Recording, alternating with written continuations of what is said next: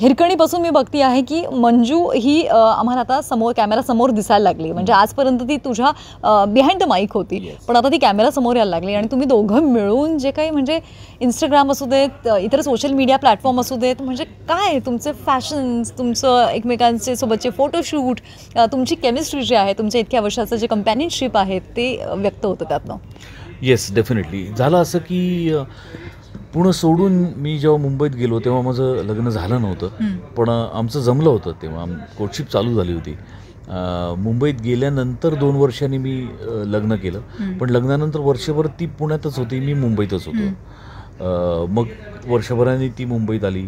आणि आमची ओळखच झाली मुळात ती माझी स्टुडंट होती. मी ॲक्टिंगचं वर्कशॉप घेत होतो. त्यात ती माझी स्टुडंट होती. सो तिला या सगळ्या गोष्टीमध्ये इंटरेस्ट होता.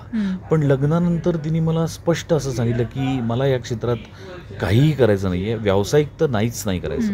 मला पूर्णपणे संसार सांभाळायचा आहे मुलं सांभाळायची त्यांना वाढवायचे त्यांच्यावर उत्तम संस्कार करायचे. त्यामुळे आजपासून माझा या क्षेत्रातला सहभाग संपला.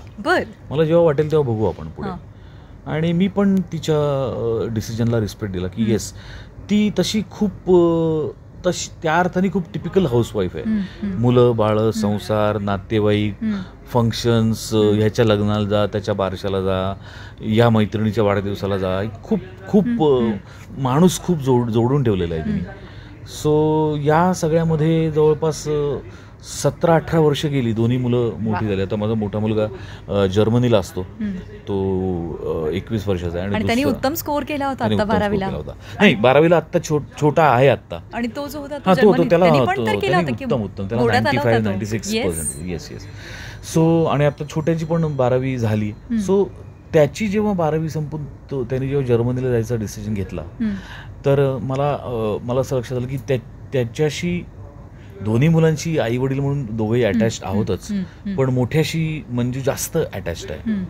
तो गेल्यानंतर एकदम अठरा वर्ष आपल्याबरोबर असलेला मुलगा अचानक देश सोडून जातो. म्हणून तिला प्रचंड त्रास झाला तिला. भावनिकरित्या भावनिक पण झाला फिजिकल पण झाला. तिला अस्थम्याचा त्रास वाढला तिचा. म्हणजे तिला सतत त्याची आठवण यायची आणि ती अशी डिप्रेश डिप्रेस व्हायची खूप. मला असं वाटलं की आता यातनं तिला बाहेर काढलंच पाहिजे आणि ते काढण्याकरता एकमेव माझ्या हातात असलेलं साधन म्हणजे माझ्या टीममध्ये तिला सहभागी करून. कारण तिचा या सगळ्या गोष्टींमध्ये तिला आवड खूप आहे. पण तिने स्वतः डिसिजन त्यामुळे तिला काही करता आलं मग मी तिला असं म्हटलं की आता मुलगा गेलाय. तुझ्यावरचा एक भार कमी झालाय. तर तू आता इकडे ये ये. ऍक्टिंग पण माझ्या टीममध्ये मला मदत कर. डिरेक्शन टीममध्ये ये. तुला कॉस्ट्युमचा उत्तम सेन्स आहे तुला ज्वेलरीचा उत्तम सेन्स आहे तिचा ॲस्थेटिक सेन्स खूप ब्युटिफुल आहे. या सगळ्याचा उपयोग मी करून घेईन. आणि तो हिरकणीच्या वेळेस केला. आणि तो हां.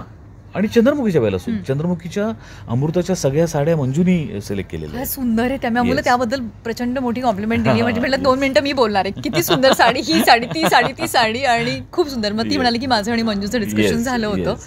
सो सो मग मग ती जॉईन झाली आणि त्यातनं ती बाहेर आली आणि तिला इंटरेस्ट वाटायला लागला खूप. मग हिरकणी पण तिने खूप उत्तम पद्धतीने सांभाळला आणि चंद्रमुखीला तर तिची खूप मेजर मदत झाली. म्हणजे अनेक वेळेला कॉस्ट्युम्समध्ये तिचा सहभाग होता. आर्टमध्ये तिचा बऱ्याच ठिकाणी सहभाग होता.